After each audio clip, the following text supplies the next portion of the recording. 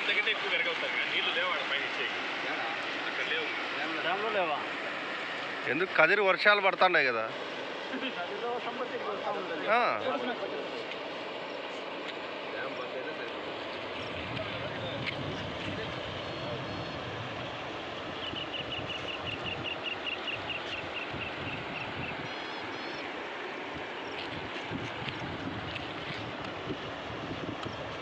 Thank you.